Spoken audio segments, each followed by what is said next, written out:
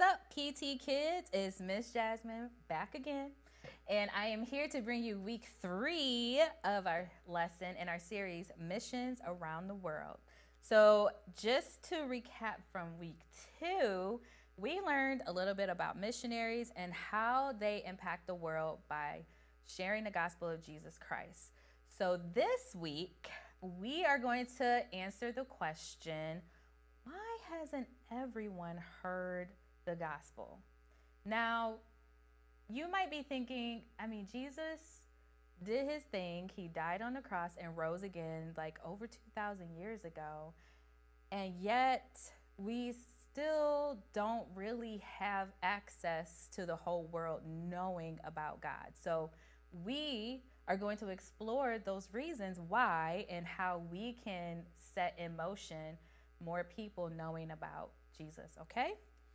So, why hasn't everyone heard the gospel? So, here's one of the reasons. Of the 7.47 billion people alive in the world today, 3.15 billion of them live in unreached people groups with little or no access to the gospel of Jesus Christ. Hmm, that's a lot of people. So, how many of you knew how many people lived on earth before I even told you? Okay. If you did, you're super smart. Does it surprise you that almost half of them have not heard the gospel? It, it surprises me too. Yeah, that's a lot of people who haven't heard of Jesus. So, why hasn't everyone heard the gospel? So, there is still about 1,800 languages that do not have a Bible translation. Can you believe that? 1,800 languages still don't have a Bible translated into their language. So there are several reasons why a translation might not be able to may not be available, including the fact that the language of certain people groups has never been written down. They just talk to each other. They don't have like a written language for their language. So some missionaries actually serve as Bible translators, which means that they are called by God to go into these areas, into different um, like cultures and people groups, and they learn their culture, they learn their language, and then they work together to create a written language so that a Bible can be um, put into their language. So that sounds like a lot of work. It is, and it's a high calling to do, but it's highly important. So, why hasn't everyone heard the gospel? So, people can't read. I don't know, sounds really simple, but still amazing that over 1 billion adults in the world cannot read. So, that could be hard to imagine. Uh, another reason why is that there's no internet access. So, only 50% of the world, so that's half of the world, has internet access. So, tools that we use currently, like right now, you're watching us on YouTube or on Facebook Live, there's people who don't have access to the internet to even watch a sermon or to actually pull up a cool app and do a devotion or to uh, pull up the Bible and read a verse. They just don't have the technology to do that. Okay, so why hasn't everyone heard the gospel? So there's limited contact. So 81% of Hindus, Muslims, and Buddhists do not know a Christian. They don't have access to Christians. They don't have a Christian friend. They don't have a Christian neighbor. So think about how many people you know who are Christians. Get that thought in your head. You know, in your own home, you probably got a few, right? It's hard to go anywhere in the US and just not see a Christian. I think in Canton, there's I can't even count how many churches are right next to each other. They're just right down the street. So it's hard to go a day without even seeing a church, let alone meeting a Christian, right? But there are parts of the world that there aren't any. So someone must be the first to go into that area and be the first Christian that someone meets, right?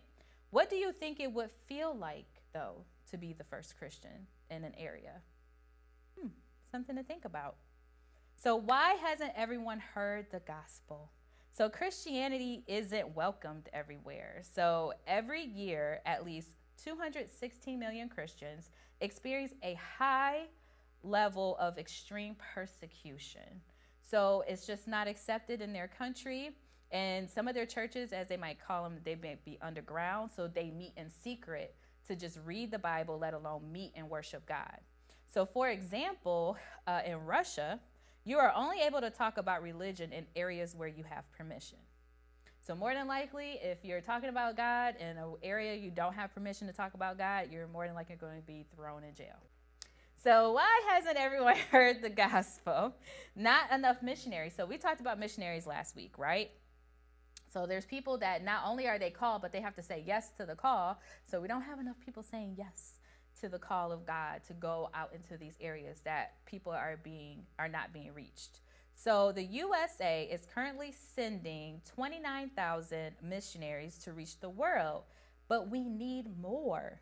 29,000 sounds like a lot until you remember that there are over 3 billion people that still haven't been reached with the gospel. So the other reason is that need more money for missionaries, for missions. Okay? So to reach more people, you need money. You need to give and support missionaries um, and to spread the gospel. So missionaries use donations and money to front for costs to help feed their families and other living expenses, but then to also print and create materials and videos to help spread the gospel of Jesus Christ to others. So let's look at our verse for today. It's in Romans 10 13 through 14. It says, For whoever calls on the name of the Lord shall be saved. How shall they call on him in whom they have not believed? And how shall they believe in him of whom they have not heard? And how shall they hear without a preacher? So God uses people, us, we are the hands and feet and the voice of God. We make God tangible and we make the gospel of Jesus Christ tangible to others. So he uses us to spread that gospel. If people don't go and do the work, then how will people come to know God? So here is our bottom line God can use our lives to reach people who have never heard of the gospel. God has given us one life to live. Don't you want to use it to tell others about Him? See, everything that we get in life, whether that is grades in school, getting good grades, that's a great thing to do. But as we talked some weeks or months ago, that doesn't get you into heaven. Being smart doesn't get you into heaven. Being intelligent doesn't get you into heaven. Having the coolest family, having the coolest shoes, having the best TikTok videos, those don't get you into heaven. And at the end of the day, that's the one thing that's going to last is our relationship with God and what we have done and what legacy we have left here on earth. So, don't you want to use most of your life? We would hope all of your life to spread the gospel of Jesus Christ. Uh, maybe we only have to just walk across the cafeteria and tell someone about God so you don't have to hop on a plane and fly to wherever to tell people about Jesus. You can start here in your own world, or perhaps someday you will travel all over the world and tell people about Jesus. So, the most important thing, though, is that we do what God is putting in your heart to do. So, to start our journey of telling others about Jesus, we have to first be saved. So, you just heard more about the gospel today. That's the first step. The second step, I should say, is receiving Jesus Christ as your Lord and personal Savior. So, we're going to say a prayer together. And once you have said this prayer, Jesus is your Lord and personal Savior, and you are able to start your journey with Him. So just repeat after me Dear Jesus, I am a sinner. Forgive me for the wrong I have done. I want to be saved. I believe you died and rose again. Come into my heart. In your name I pray. Amen. That's it. You're saved. Okay, so I hope that this lesson helped you learn more about the missions around the world and what reasons why everyone hasn't heard of the gospel and why there's still a lot of work to do to tell people about Jesus Christ. So I'm going to give you a little bit of homework.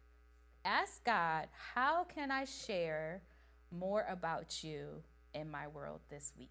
okay? And I promise you, God will talk to you. As long as you have a sincere heart to listen, you can hear what He's saying to you.